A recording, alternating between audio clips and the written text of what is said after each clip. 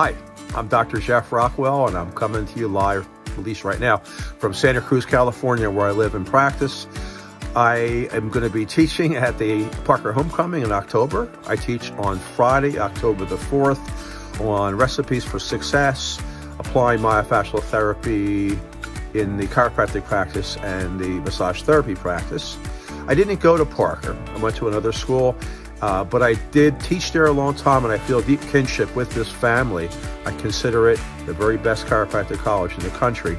And in keeping with that spirit, I want to offer you, and I will offer you, the very best uh, clinical pearls that I've gathered over a long time of practice.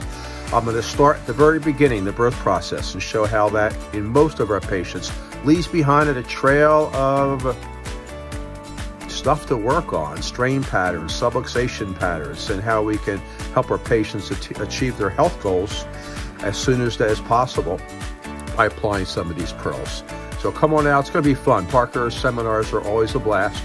Uh, they keep getting better and better, and I hope that um, to be a part of that. I look forward to seeing you all. Thank you so very much. Bye-bye.